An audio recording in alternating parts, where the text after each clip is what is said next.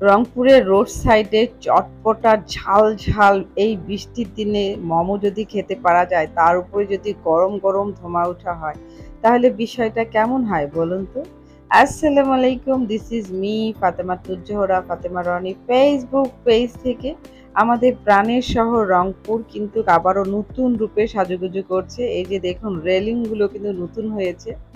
Hospital থেকে বাসায় এসে আমার মুখটা একদমই অসার আপনাদের ভাইয়াকে সাথে করে নিয়ে বেরিয়ে পড়লাম। খুব চটপটা কিছু খেতে মন চাচ্ছিল। আজকাল রংপুরে যেহেতু প্রচণ্ড বৃষ্টি আর এই বৃষ্টির মধ্যে গরম গরম ধোঁয়া ওটা কিছু একটা খেতে খুবই ইচ্ছে করছিল। তাই চোখে পড়ে গেল এই মোমো স্টলটি। মোমো স্টলটি দূর থেকে দেখতে এতটা সুন্দর আর ভ্যানের মধ্যে লাইটিং করে এত সুন্দর করে সাজিয়েছে।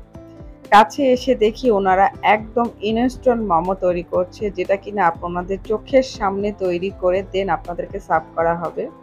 গামলা ভর্তি চিকেনের পুর, দেন ময়দার যে টপিংটা থাকে সেটার মধ্যে কি সুন্দর করে একটা ফুলের ডিজাইন করে একটা বিশাল বড় প্লেটের মধ্যে সাজিয়ে নিচ্ছে।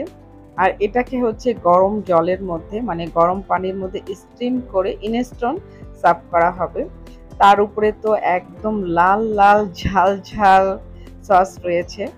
আর এই বৃষ্টির দিনে এরকম খাবার কিন্তু আমার খুবই ভালো লাগে। মোমো স্টাইলটা কোথায় এবং কোন জায়গায় পুরোটা জানতে হলে ফুল ভিডিওটা দেখতে হবে। প্রথমে আমরা একশো টাকা দিয়ে একটা টোকেন নিয়ে নিলাম, কারণ এক প্লেট মোমো হচ্ছে অনলি অন একশো টাকা। তো একশো টাকা টোকেন নেওয়ার পরে ওনারা হচ্ছে অর্ডারটা নিয়ে নেয়। দেন এরকম হচ্ছে গরম পানির মধ্যে মোমোগুলোকে স্টিম করতে দিয়ে দেয়। আর সময়টা জাস্ট এখানেই লাগে।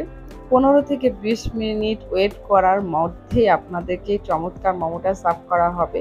ওনারা সেকেন্ড পার্টের জন্য মানে আবারও তৈরি করার জন্য রেডি করছে।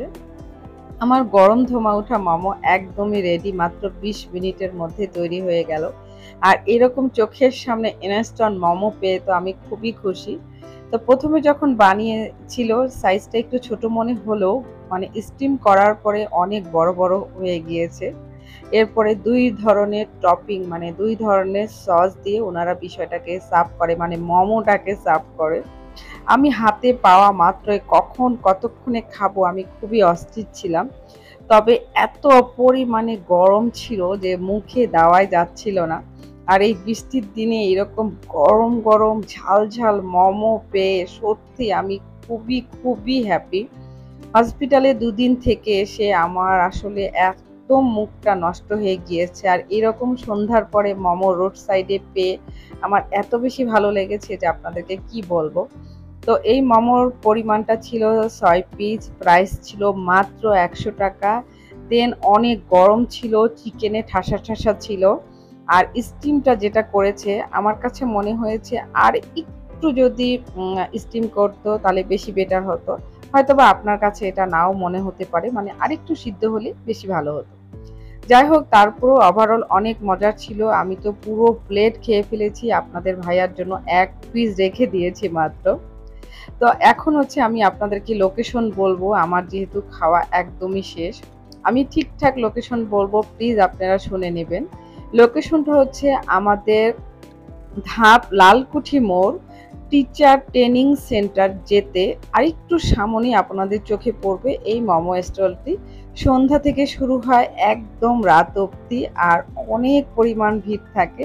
তো এই ছিল আমার আজকের মতো ওভারঅল ভিডিও নেক্সট কোনো ভিডিও নিয়ে আবারও হাজির হচ্ছে আজকের মতো। আল্লাহ হাফেজ।